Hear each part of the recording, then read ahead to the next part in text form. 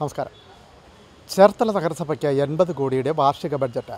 ആരോഗ്യ വിദ്യാഭ്യാസ മേഖലയ്ക്കും വിനോദസഞ്ചാര മേഖലയ്ക്കും മുന്തിയ പരിഗണന പത്ത് കിടക്കകളുള്ള I C unit Cherthala taluk ആശുപത്രിയിൽ സ്ഥാപിക്കാനും നിർദ്ദേശം ചേർത്തല നഗരസഭ അധ്യക്ഷ ഷെർലി ഭാർഗവിന്റെ അധ്യക്ഷതയിലാണ് ബഡ്ജറ്റ് യോഗം ചേർന്നത്. Vice chairman T S Ajayakumar വാർഷിക ബഡ്ജറ്റ് അവതരിപ്പിച്ചു. ചേർത്തല നഗരസഭയ്ക്ക് എൺപത് കോടിയുടെ വാർഷിക ബഡ്ജറ്റ്.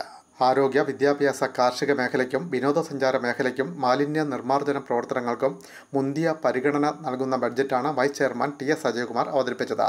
മൃഗ സംരക്ഷണ ക്ഷീര വികസന മേഖലയിൽ ഒരു കോടി മുപ്പത് ലക്ഷം രൂപ വകയിരുത്തിയിട്ടുണ്ട്. കോഴിക്കുഞ്ഞ് കോഴിക്കൂട് വിതരണം പാലിന് സബ്സിഡി മൃഗാശുപത്രി നിർമ്മാണം നായ്ക്കൾക്ക് പ്രതിരോധ കുത്തിവയ്പ് എ ബി സി പ്രോഗ്രാം കന്നുകുട്ടി പരിപാലനം കാലിത്തൊഴുത്ത് നവീകരണ നിർമ്മാണങ്ങൾക്ക് ധനസഹായം സമഗ്ര കാലിത്തീറ്റ വിതരണ തുടങ്ങിയവ വിവിധ പദ്ധതികളായി ഉൾപ്പെടുത്തിയിരിക്കുന്നു. നിലവിലുള്ള ജലസ്രോതസ്സുകളുടെ വിവരശേഖരണവും പഴയവ വീണ്ടെടുക്കുകയും ചെയ്യുന്ന പദ്ധതികൾക്ക് രൂപം നൽകും. ആഴംകൂട്ടി സംരക്ഷിക്കേണ്ട ജലസ്രോതസ്സുകളെ പ്രത്യേകമായി കണ്ടെത്തി സംരക്ഷണ നടപടികൾ സ്വീകരിക്കും. ചേർത്തല താലൂക്ക് ആശുപത്രിയിൽ പത്ത് കിടക്കകളോടെ ഐ സി യു യൂണിറ്റ് ആരംഭിക്കും. ഇതുൾപ്പെടെ നിരവധി വികസന പദ്ധതികളാണ് താലൂക്ക് ആശുപത്രിയിൽ നടപ്പാക്കാൻ ഉദ്ദേശിക്കുന്നത്.